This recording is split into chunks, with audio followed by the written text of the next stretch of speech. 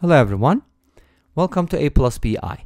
This channel is all about complex numbers and in this video we're going to be solving an absolute value problem. I guess I could also call this a locus problem because we're looking for the set of z values that satisfy this equation, that satisfies this equation. In other words, a family of solutions. And in some cases, maybe in most cases, those set of points in the coordinate plane, in the Argand plane, will determine the shape of something known. Like they will be on a circle, they will be on an ellipse, or hyperbola. I don't know, something like that that comes from solving the locus problem. So in this case, what kind of shape do we have? Do we have a circle? Do we have a square, triangle, rhombus? I'm just making it up any geometric shape you can think of. Just try to guess because that's fun and write down your guess. At the end, we're gonna check. Okay, ready, set, go. All right, to solve these problems, we're gonna look at the following. Since we want locus, we're basically looking for a set of points. I wanna use x plus y. Sorry, a plus bi. We're gonna use this for now. If that's the case, what's the absolute value of z. Notice we have to take the absolute value of the absolute value of z plus i. Get it? So the absolute value of z is just gonna be square root of x squared plus y squared, right? Good. Let's plug it in. Now I have, uh oh, notability going crazy. Come on, calm down. So this will be the square root of x squared plus y squared plus i equals, and we want that absolute value to be 1. If we didn't set this, obviously, it could be any number, and that would also give us a family of solutions, but probably a family of curves, particularly. If you set it equal to like a constant c, under certain conditions, maybe you won't even have a set, and you can kind of talk about something like, okay, for which c values we have this many solutions or something like that. Makes sense? All right. Anyways, in this case, we're not worried about C. We're worried about 1. How do I...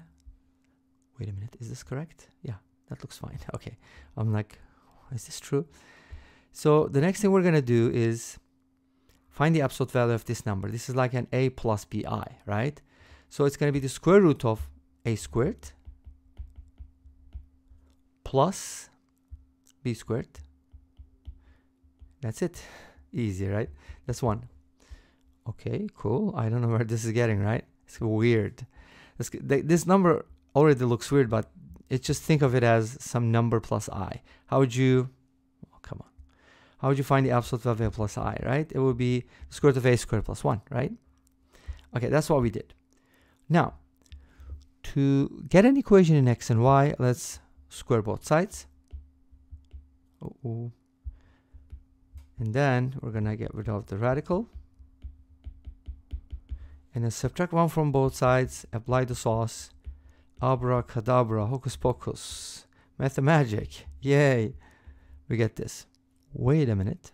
Isn't this like, uh, oops, I know, I just realized, don't worry. I know some people are gonna be like, you made a mistake. Okay, that's fine. I corrected it. So I'm not gonna cut it, so you'll see the mistake. Anyways, so isn't this a circle? Yeah, with radius 0. Awesome. we have heard circle, but its radius is 0. What is that supposed to mean? Well, if you x and y are real numbers and you know that they are, this implies x equals 0 and y equals 0, right? If you had complex numbers, of course, this wouldn't work, but this is an identity that we use a lot. It's probably be this way, more like this, right? A lot of algebra problems can be solved this way. Wait a minute. What do you mean by this, it means, let's look at the graph, shall we? Okay. If you look at the graph of this, on the coordinate system, I believe I included it. Come on, you can do that.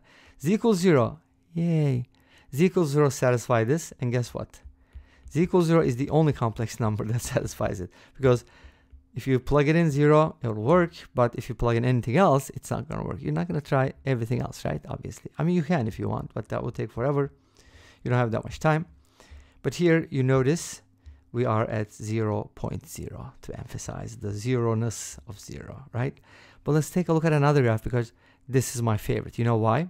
Not because it's from Desmos, but it looks really cool. Ready, set, go. Ta-da! Here's the graph. Okay, there you go. Point zero, one point, that's the only solution. Zero is an interesting complex number because it's just a dot, but it's very powerful. Don't underestimate the power of zero. If you do, multiply it by a million, you'll see what happens. And this brings us to the end of this video. Thanks for watching. I hope you enjoyed it. Please let me know. Don't forget to comment, like, and subscribe. I'll see you next time with another video. Until then, be safe, take care, keep watching videos, including the ones on, that are on SyberMath, and bye bye.